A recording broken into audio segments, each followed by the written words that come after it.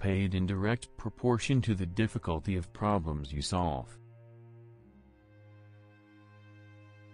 You should take the approach that you're wrong. Your goal is to be less wrong.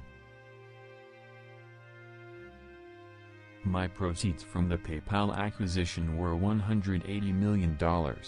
I put $100 million in SpaceX, $70 million in Tesla, and $10 million in SolarCity. I had to borrow money for rent.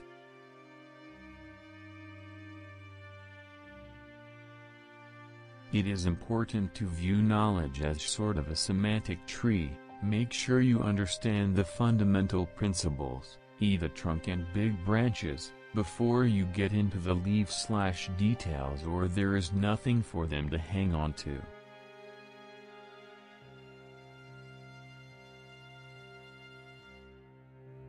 When something is important enough, you do it even if the odds are not in your favor. Constantly seek criticism. A well thought out critique of whatever you're doing is as valuable as gold.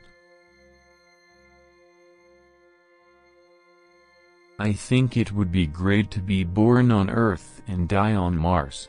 Just hopefully not at the point of impact. It is possible for ordinary people to choose to be extraordinary.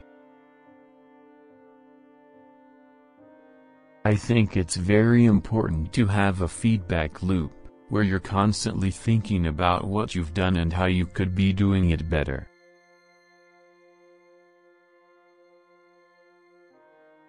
The idea of lying on a beach as my main thing just sounds like the worst.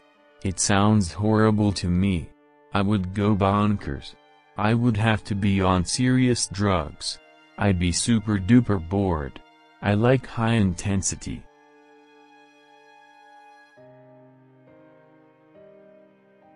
When something is important enough, you do it even if the odds are not in your favor. I'm not trying to be anyone's savior. I'm just trying to think about the future and not be sad. If you need inspiration, don't do it. No, I don't ever give up. I'd have to be dead or completely incapacitated. One of the really tough things is figuring out what questions to ask. Once you figure out the question, then the answer is relatively easy. Any product that needs a manual to work is broken. The first step is to establish that something is possible then probability will occur. I came to the conclusion that we should aspire to increase the scope and scale of human consciousness in order to better understand what questions to ask. Really, the only thing THT makes sense is to strive for greater collective enlightenment.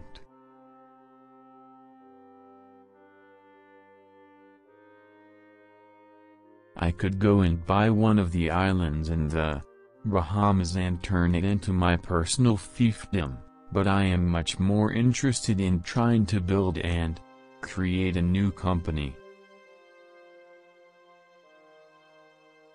Every person in your company is a vector. Your progress is determined by the sum of all vectors.